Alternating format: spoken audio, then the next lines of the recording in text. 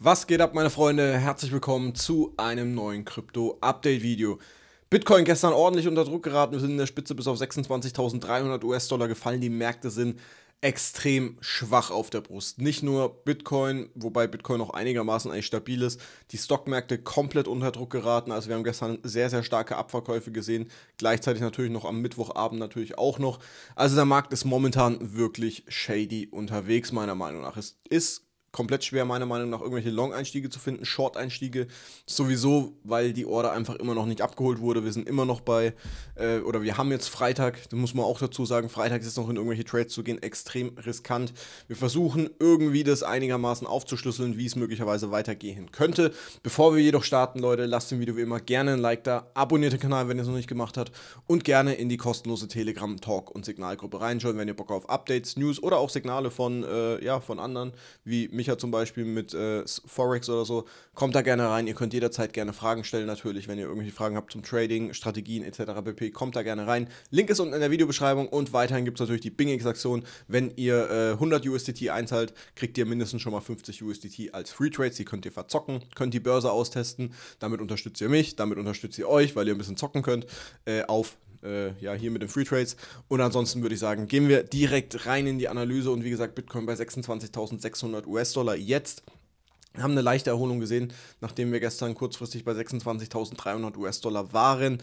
Positiv oder das einzige Positive, was sich hier momentan so einigermaßen ableiten lässt, ist, wir haben kein tieferes Tief gebildet. Also wenn wir uns hier dieses Tief angucken, es wurde nochmal angetestet, hier bei 26.375 Dollar und das war es dann auch schon wieder. Wir haben keinerlei Volumen momentan im Markt.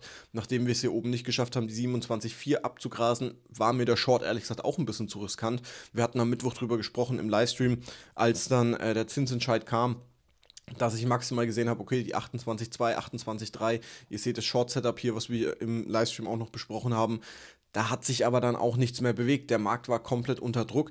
Hat natürlich auch damit zu tun, wenn wir uns den DXY anschauen, der komplett to the moon gegangen ist nochmal.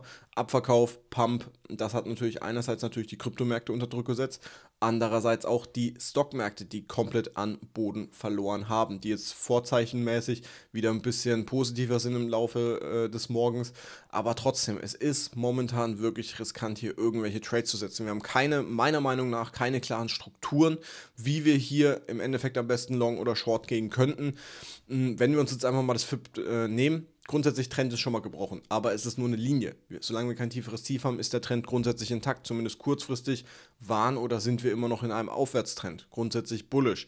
Aber wie gesagt, diese Struktur, die wir hier seit wenn wir jetzt mal diesen Wick hier außer Acht lassen, äh, seit 18. August haben, also seit über einem Monat, sind wir komplett seitwärts keine richtigen Long-Impulse, weil dieser Wick ein, äh, hier unten noch ist, den es zu füllen gibt. Und nach oben hin gibt es einfach zu viel Short-Positionen bzw. Short-Möglichkeiten, die aber jetzt oder nach jetzigem Stand einfach mir persönlich zu riskant sind. Diesen Bereich hier zu shorten hätte absolut in die Hose gehen können, weil das meiste Volumen eigentlich erst hier oben bei den 28,2, 28,3 anfängt.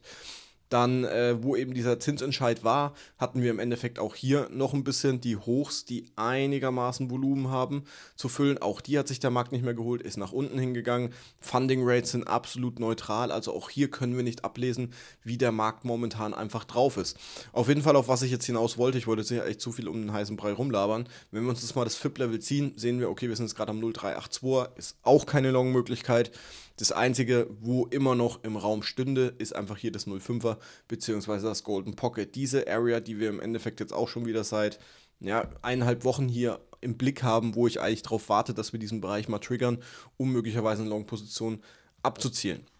So, wenn wir jetzt mal in den größeren Timeframes gucken, ähm, was wir auch im Livestream besprochen haben, könnten wir sagen, okay, wir haben hier einen doppelten Boden, der aber auch absolut shady ist, meiner Meinung nach. Also einerseits natürlich mit diesem Riesenwick, der früher oder später, ich kann es nicht oft genug wiederholen, früher oder später wird dieser einfach abgefischt.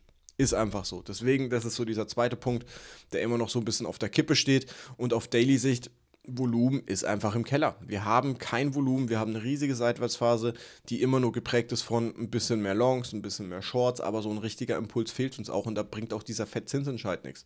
Die Zinsprognose natürlich hat ihren Teil dazu beigetragen, dass die Kurse jetzt etwas nach unten gegangen sind, aber auch nicht übertrieben. Ne? Also ihr seht, es ist einfach komplett schwer, hier irgendwelche gescheiten Einstiege zu finden. Für mich ist einfach dieser Short-Bereich hier oben bei 28,2, 28,3 rum, um diese Hochs und natürlich auch dieses Short-Volumen, was wir hier drüben auch noch sehr, sehr stark vorhanden haben, auf den 4 Stunden, auf den 1 Stunden, einfach noch abzufüllen. Alles andere hier jetzt irgendwie auf Biegen und Brechen zu versuchen, dass wir hier jetzt in eine Long-Position reingehen, ist extrem risikoreich. Und ihr, ich, ihr, wisst, ich versuche Risiko zu vermeiden, auch wenn das bedeutet, dass wir momentan hier bei Bitcoin kaum oder gar nicht in irgendwelche Trades reingehen. Das ist mir zu riskant. Ich warte jetzt erst einmal noch vielleicht die nächsten Stunden ab. Sollten wir, das ist jetzt die einzige Möglichkeit und was eigentlich der Sinn von dem Ding jetzt ist, nochmal tiefer gehen. Das heißt, nochmal die Liquidität abgrasen, nachdem wir dieses Tief hier drüben nur mal kurz angewickt haben. Das heißt, wir haben kein tieferes Tief gebildet. Wir sind kurz vorher, ein Dollar vorher gestoppt. Sollten wir die Chance kriegen, so einen kleinen doppelten Boden zu bilden, können wir mit in Anführungszeichen einigermaßen Risk, müssen wir aber auch den Stundenclose abwarten, hier möglicherweise eine Long-Position probieren mit 1% Risk. Es ist sehr, sehr viel, dieses Risiko müssen wir aber eingehen, weil wir hier auch nochmal so ein bisschen Volumenansammlungen haben, die wir auf jeden Fall natürlich mit dem Stop-Loss schützen müssen. Ne? Also das ist so die einzige Möglichkeit.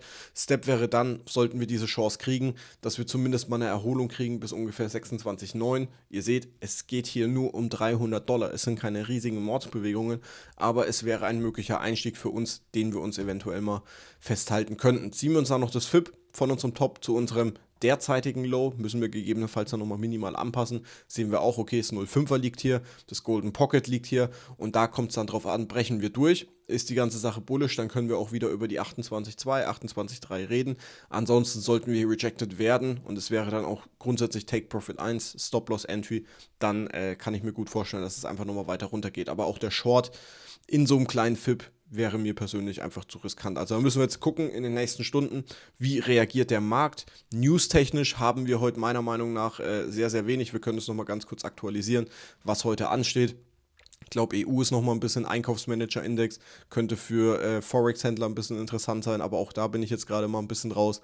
Aber ansonsten seht ihr schon so gar keine News heute, die noch irgendwas bewegen könnten. Ja, ansonsten Ethereum können wir auch mal ganz kurz angucken, hat sich nichts geändert im Gegensatz zu den letzten Tagen. Wir sind mitten im Nirgendwo.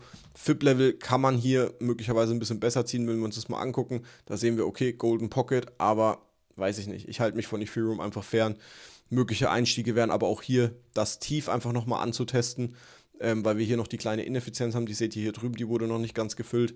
Also auch hier würde ich warten, nochmal ein Tief, Ineffizienz füllen und dann zumindest mal einen Push in Richtung 1616 US-Dollar. Stop-Loss für alle, die es interessiert, ähm, müssen wir gucken, wären 2,5 Prozent. Das ist sehr, sehr viel, meiner Meinung nach, aber das ist eigentlich gerade das einzige Setup, was ich für euch raushauen kann. Gut, Ansonsten, wie gesagt, newstechnisch, ich brauche jetzt keine News-Seiten aufmachen. Es gibt momentan keine News, keine wichtigen News. Äh, alles andere wäre nur drumherum gelabere. Und ja, später kommt dann noch XRP-Update und natürlich eine neue Podcast-Folge. Es ist Freitag um 12 Uhr. Jeden Freitag um 12 Uhr kommt die neue Podcast-Folge online. Zieht euch die auf jeden Fall auf Spotify, Apple, Deezer, was weiß ich, wo es halt überall Podcasts gibt. Gerne rein. Heute ein wichtiges Thema: KI und AI. Hört euch das gerne an, würde ich mich drüber freuen. Liked und teilt und folgt dem Podcast, auch die Links dazu unten in der Videobeschreibung. Und damit würde ich sagen, für alle, die später kein XRP interessiert, wünsche ich schon mal einen guten Start ins Wochenende. Wir hören uns trotzdem später nochmal. Bis dahin, Like da lassen, Abo da lassen. Ciao, ciao und wie immer, stay crypto.